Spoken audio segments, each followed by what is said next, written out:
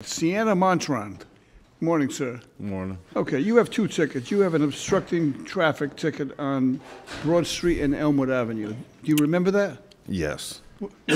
What do you remember about it? Uh, I wasn't on Broad and Elmwood. I was actually in on Broad and I think Somerset. I have a picture of the uh, incident. I was just parked outside of the uh, Empire Loan on Broad Street, right across from McDonald's. Next to McDonald's.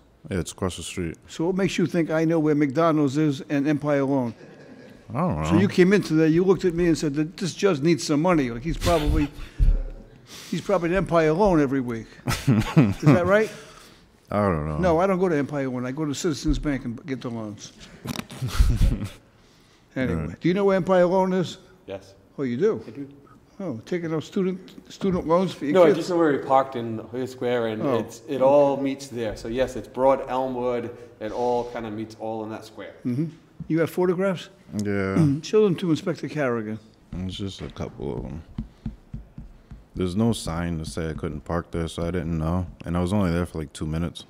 Well, you're charged with obstructing traffic, so we don't put up signs saying you can't obstruct traffic. I know, but That's like saying you can't stop in the middle of the highway. We don't have signs saying you can't stop in the middle of the highway, yeah. right? I- I mean, it's a no parking, he's impeding a little bit of the lane of travel, but obstructing traffic, that's hard pressed to obstruct.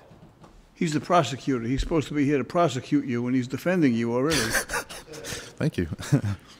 That's very uncharacteristic of him, you know. Your Honor, unfortunately, he brought a picture in, so I have to call it how I see it. All right, we're gonna, on the motion of the prosecution, we're gonna dismiss that case. Thank you. How long did it take you to get that photograph so that the car didn't look like it was obstructing traffic?